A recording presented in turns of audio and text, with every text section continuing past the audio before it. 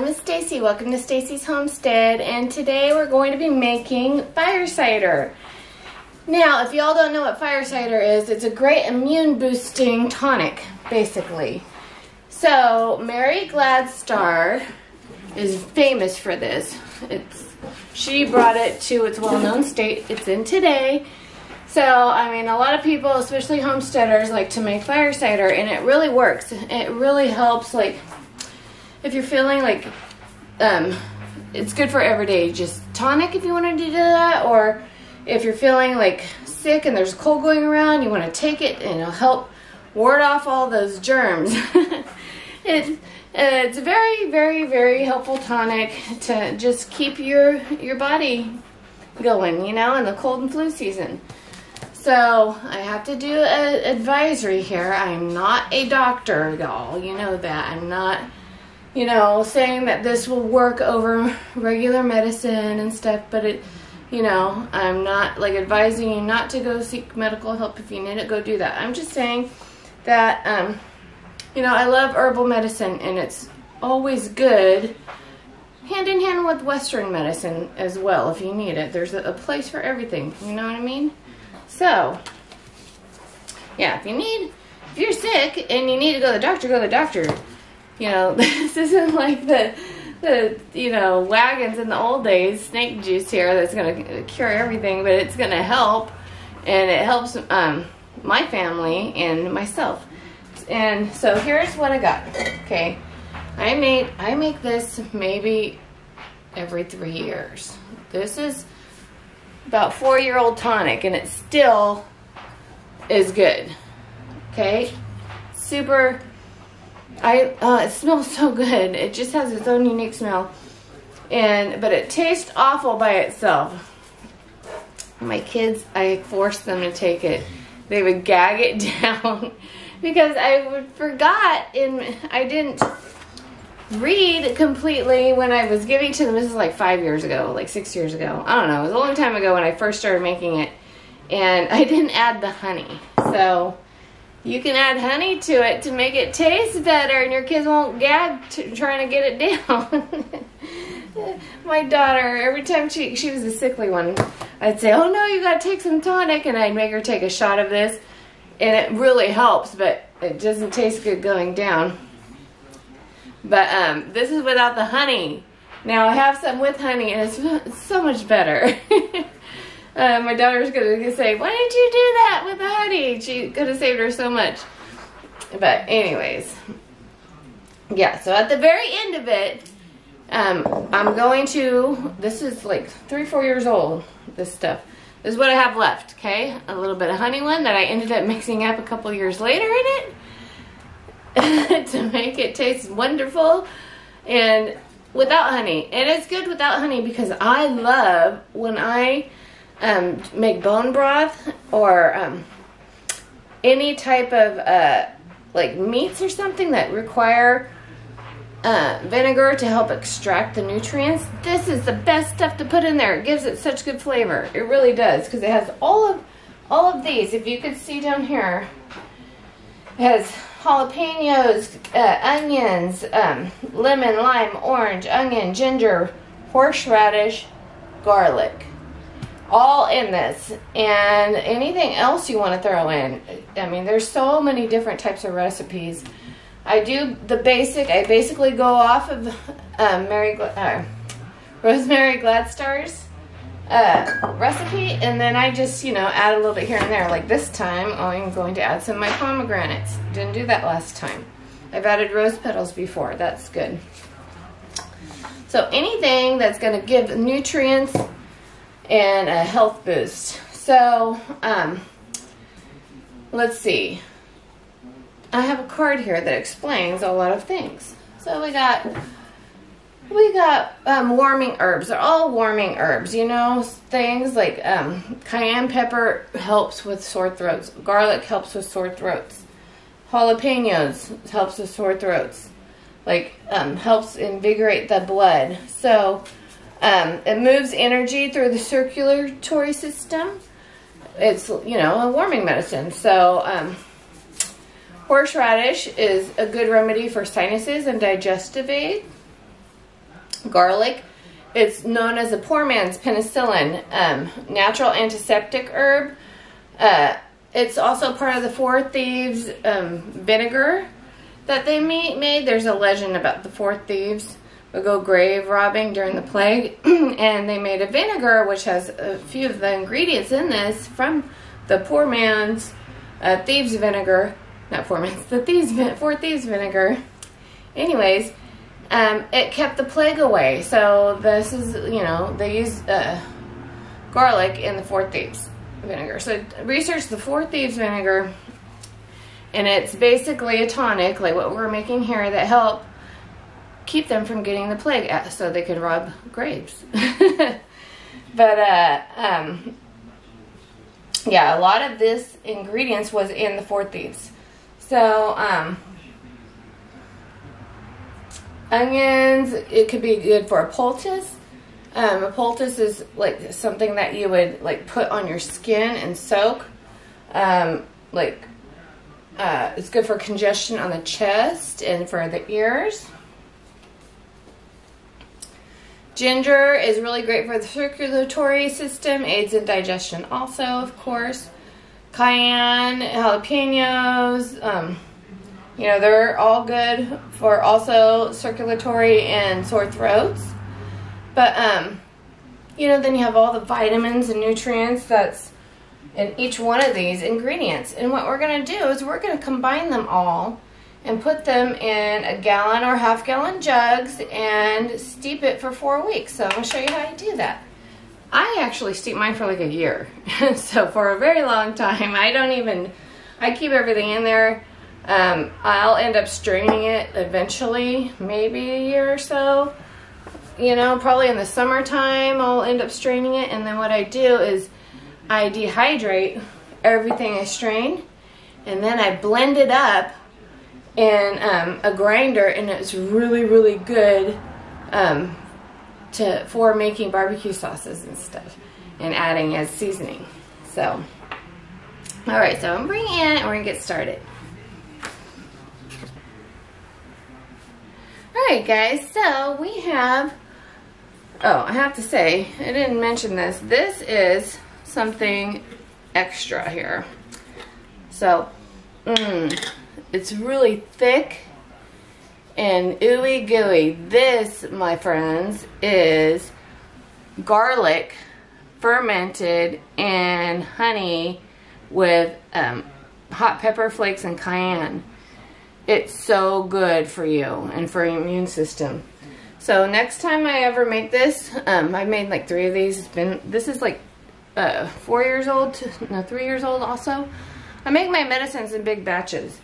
I don't like to make them every year, and they just get better with age. So, anyways, next time I make this, I'm to grind up the garlic because um, I have to chew it, you know? I mean, it's fine I have to chew it, but it would be better if I already had the garlic ground up and then it would be easier just to swallow, you know? So this is something good to have um, to, I mean, it's really good for your immune system when you're not feeling good, good for sore throats, but um, it's good like to put in the teas and stuff. If I hadn't, I have to grind it up separately now, but that's a separate deal there. Okay.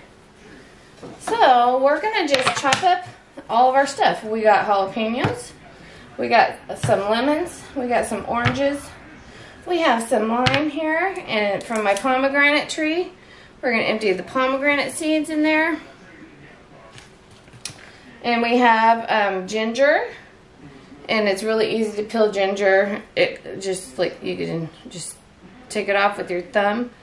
Um, you could peel it or don't peel it, but we're to chop that up into small slivers because you want as much surface area to touch. So, um, let's see, we got onions. We got a red and yellow onion. We got some, uh, let's see, horseradish, of course. This is from my garden. And horseradish loses its potency after you grind it up. So, I can harvest this and this will stay in my fridge just like this for like a year. And I just grind it as I need it and it stays spicy that way. And I keep it in a, a jar. So, but we're to use the whole thing of this. So, horseradish is really easy to grow, even ginger. But horseradish, um, you could just take a piece and put it in your garden and don't touch it for two years and you can harvest it after that. But um, it once you plant it, it's hard to get rid of though. So make sure you plant it in the spot. I'm like, you'll never get rid of it. It's like a weed. Once you plant it, make sure it's in a spot that you don't care that it stays in forever. So, um, and like right now is a good time to dig up your horseradish if you need it. We're to chop all this up and get it ready rock and roll. And of course, you're to need your apple cider vinegar. Alright guys, so I got everything chopped up, but I decided I'm going to grate my horseradish. I was going to use a food processor, but I think I want the texture of it grated, you know what I mean? So we're to just grate it really fast. You peel horseradish with a carrot peeler. Oosh, it's getting in your nostrils.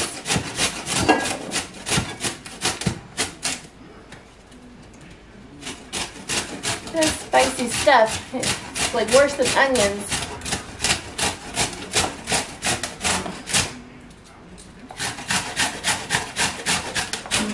Hmm.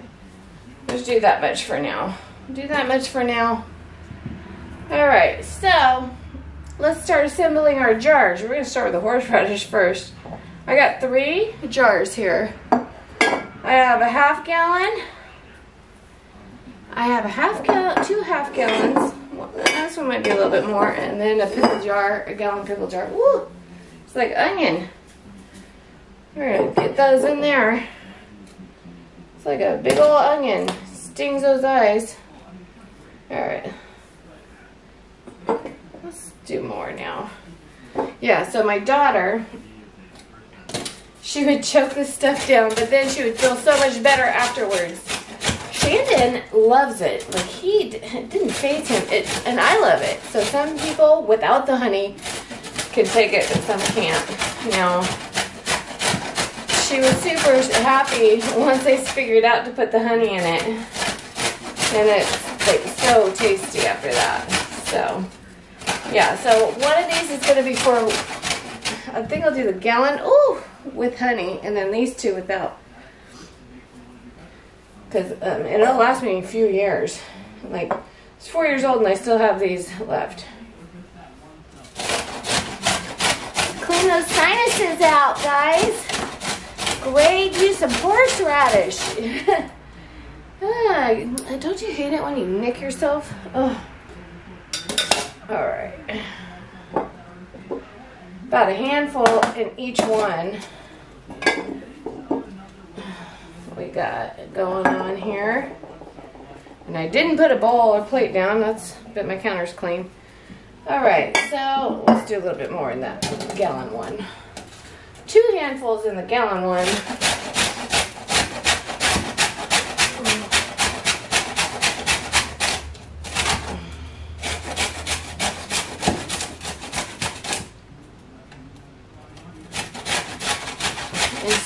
From the garden, guys horseradish, like once you grate it, if you're not putting it in vinegar, it won't keep. But if you grate it, you put it in vinegar and then it'll be fine. And your vinegar will become spicy too. So it makes a good uh, tartar sauce with the vinegar, you know. Uh, man. I don't know. I think this was about the size of, um,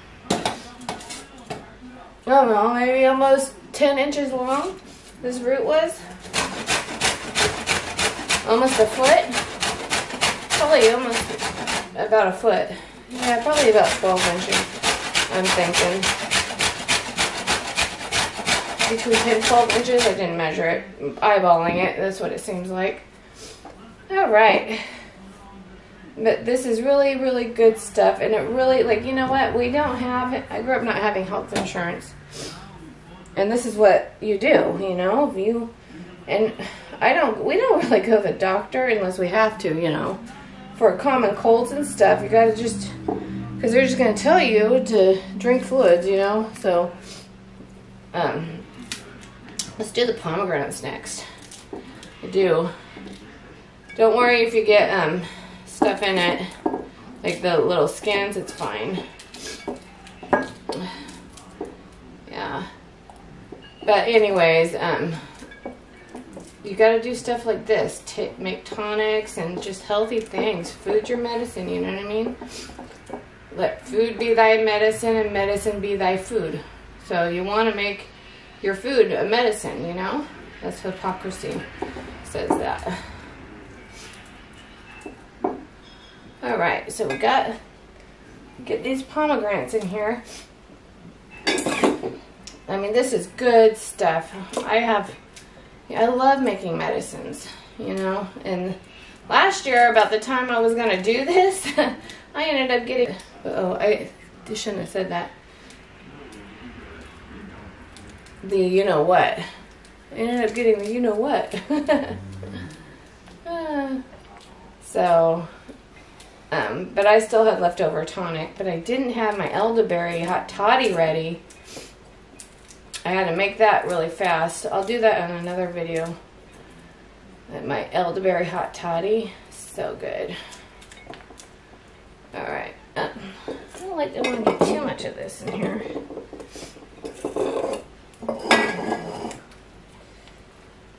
Get some nice vitamins in here.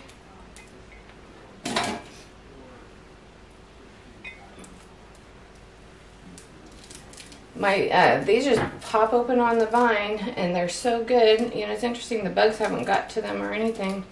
Because I have ducks.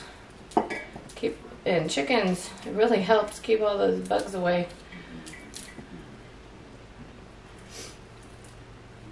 You gotta work with nature you know? It's interesting people with a lot of bug problems get sprayed a lot try to have a even balance in my yard, you know? Like I had to, I got cats, you know, when you're out in the country, mice become a problem. And so I have, I've always had indoor cats for the indoor mice that wants to come sneak in here. Then in my garage, you know, I had, when you have pantry and, and feed and stuff, you gotta get something for outside. So we do live on this busy road.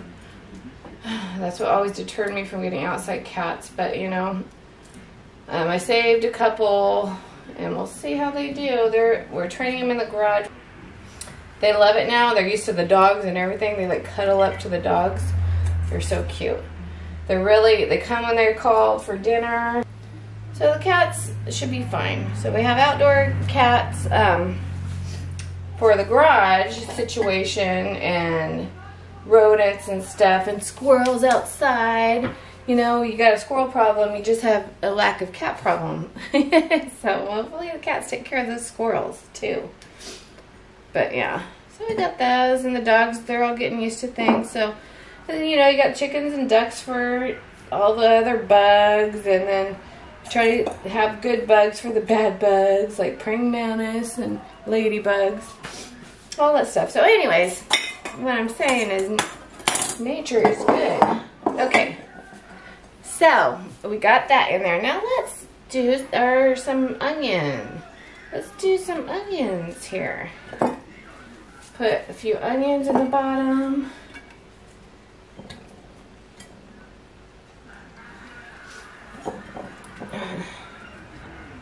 Try to layer it. Hmm? Make it look pretty. All right, let's do some ginger. Push that in there. I just sliced them up really thin. I didn't even skin them. The them, I didn't even peel them because I didn't want to.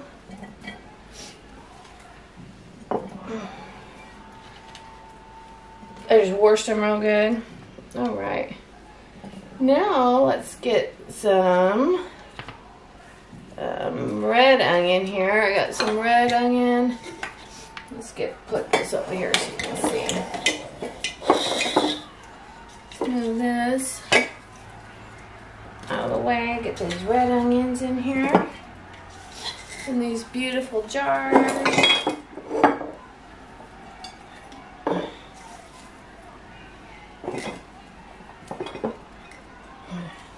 Yeah, so this like this stuff really works. It really like especially like before I go to holiday functions, I have everyone take some of this and then that um of course the vitamin C uh, stuff um, that you get from Costco, those like chew vitamin C chews. And then we all start eating oranges and every citrus you can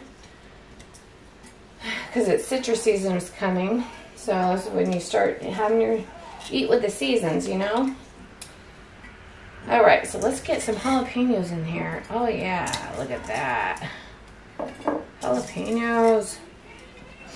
So we take the shots before we go see family and take elderberry syrup shots and let's see what else. Um, the vitamin C chews. Oh, I forget what it's called. You know, those chewy things the immune boosting vitamin C, whatever. Take those.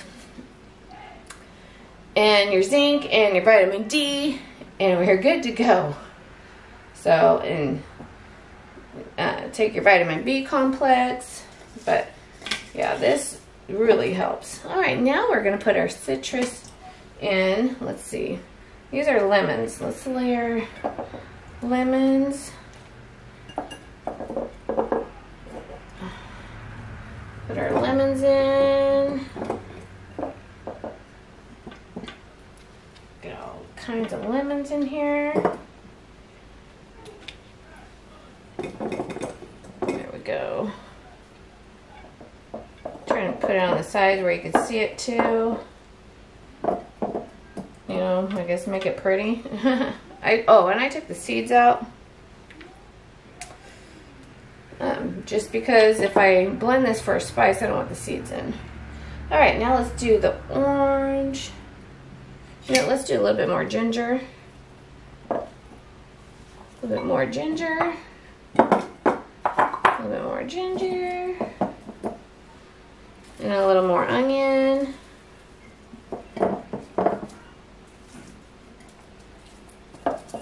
Little onion.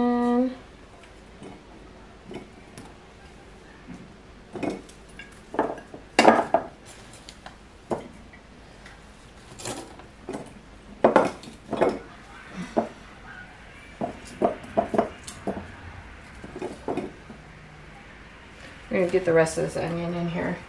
Get the rest of this onion in. Um, you can put hibiscus in here.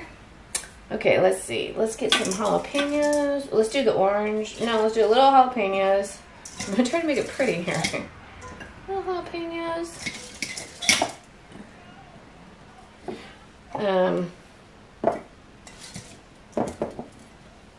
I keep the seeds and everything. You want this spicy, you know. You don't have to have the jalapenos, guys, but I like it spicy. Okay, I have some more pomegranates here. This one I harvested a little bit earlier, so it's lighter in color. It still tastes good.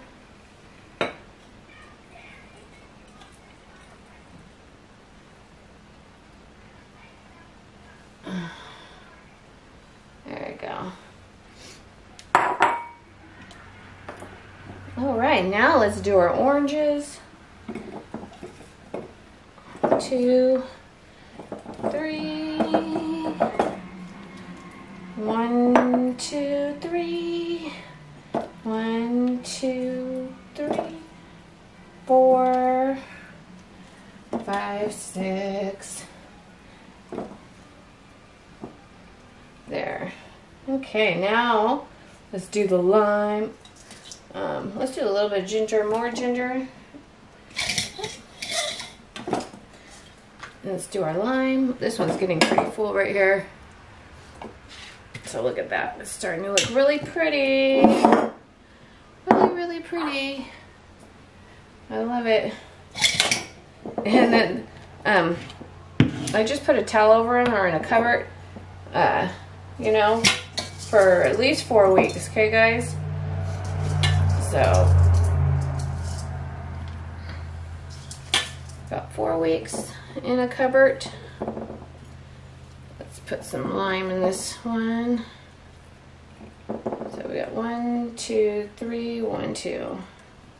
There. Lime is a strong flavor, so I don't put too much. But the rest of it, look at that. It's so, such a beautiful concoction. Okay. Okay, now we're going to um, put our vinegar in. Now you don't do the honey until it's done, okay guys? So you're to do the honey when it's all done. After you decant it, decanting means just to empty it out and strain it and then um, you'll add your honey then. Now, I do about a cup of honey to it. So, but anyways, we're going to put our apple cider vinegar with the mother organic. Okay, the mother means um, it's uh, it just means it's not pasteurized. so uh, it means it's just organic, non-pasteurized, has all the good stuff in it.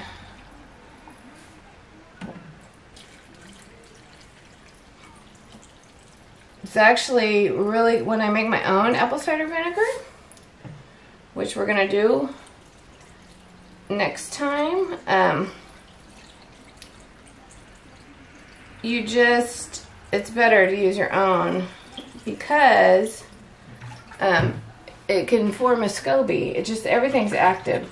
This, I mean, was, um, something was done to it where it can't reproduce though, so it's not pasteurized, but it's made it where it's shelf stable, so probably just heat it up, I don't know. But it's not going to form a SCOBY like your own um, apple cider vinegar would. So, one gallon does all this. Now, if you're short, you want to cover everything. You need to, everything has to be covered. And if you're a little short, you can add lemon juice um, and some water because a little bit of water is not going to hurt. Yeah, so um, I think I'm going to add, let's add some of this uh, lime juice I have. Lime, lemon juice. We have this laying around. Do a little bit of lime juice here.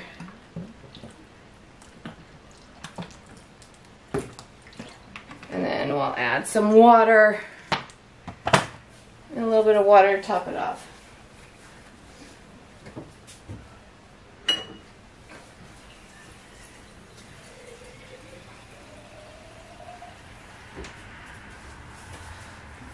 Just put a little bit of water on the top, all the way. You want it all the way.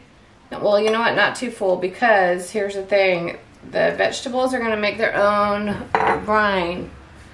So the vegetables are going to release more fluid and it's going to get two inches fuller. So keep it two inches lower than you would like it at first, okay?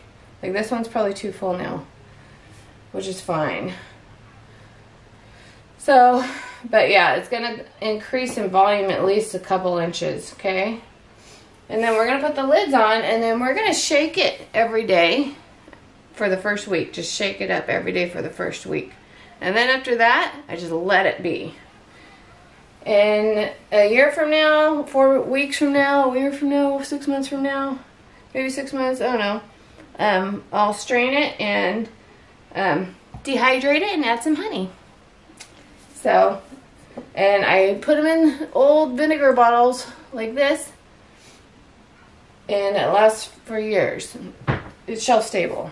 So, keep it in the cupboard. It's vinegar. It's just infused. So, alright guys, so that's how you make fire cider and it's really good for cold and flu season and it works.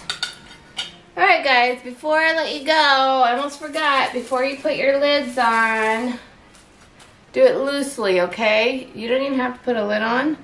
Um, just put like a, uh, you can do like a cloth over it with a rubber band. Um, but I like to put saran wrap on and just loosely put that on, okay? And then make sure you tighten it uh, before you shake it. And the reason why I put saran wrap because um, metal, the vinegar is caustic and it'll rot the metal. So if you put saran wrap like that and leave it and then you shake it every day, you know, like that. And then you bend it, leave it loose, just like so. Or, you know, um, put a cloth on with a rubber band, but then um, you're not going to be able to shake it, of course. You're going to have to put the lid on and shake it. So, to put the cloth back on. But yeah, handy tip. Alright guys, I almost forgot to add the garlic, so I put that in there about about 40 pieces each shoved in here. So already peeled garlic, um, like two giant handfuls I forced in here. So get those garlic pieces in there. Let's get all those garlic pieces in there. Can't forget that. Thank goodness I remembered. Um, so, but yeah, I got all the garlic in. So that was the last ingredient. I almost forgot. But the rest of these, I'm just going to put in here really fast. And we're going to ferment these. So, because this is getting old. Garlic will turn green on you guys when you ferment or um, put it in vinegar because it has sulfurs in it and stuff. It's a chemical reaction with uh, the acid acid in the vinegar. So it turns green. So don't worry if you got green uh, garlic. So um, we're going to cover this with uh, water, but let's get a couple tablespoons. And this is no vinegar added. This is natural fermenting. And a couple tablespoons of salt. You know what I mean? Get that fermentation started. Okay. Add water, cover it now. And then every day we're just going to shake it. And once it's going to start bubbling, and that's when you know it's working. And then when it, uh, you know, four, five, seven days, depending on where you're at and the temperature, um, you know, when it stops bubbling, that's when it's done. And then it's shelf stable. I leave it on the counter for like months. You know, several months, almost a year I've left it on the counter. But in the fridge, I mean, I have fermented garlic that's like two years old. So, lasts very long time. It turns, it makes its own vinegar, guys. So, it's very um, shelf stable. That's the old way of preserving things. I ferment like everything I can get my hands on. I ferment beets. I ferment pickles and cucumbers. Like, that's how you make pickles, right? Wax peppers are really good that way. Just water and salt. It's simple. So, yeah, we're to put water over that. But, yay! The tonic is beautiful. It's all done. Don't forget when you're done to add that honey in for your kiddos. I'm telling you, so much better to get it down them. Uh, I just have to convince my daughter, just take it, just take it, you'll feel better. Take it. and she'd take it and then she'd feel better. But um, yeah, it's just like drinking straight up vinegar. And this was like six, seven years ago. And then I realized I could put honey in it and it's so much better and the kids love it now. Shanda never had a problem. Like, he likes taking that. He just likes it that way. So I make it both ways. Um, the honey one, and then the one without honey. And you can always add honey to it later if you need it. So, alright guys, so that's how you do that. Make yourself some fire cider slash tonic, I call it. Um, really works, helps, really, really helps keep you healthy when cold season and everyone else around you sick. There's been many times me and my family have not gotten sick because I headed it off and I was like, nope, we're taking this. And then after the fact, it really helps speed things up. And, you know, it, because of the heat to it, it helps with sore throats. And that's the main deal with winter colds, right? So, make yourself some tonic, guys. Fire cider.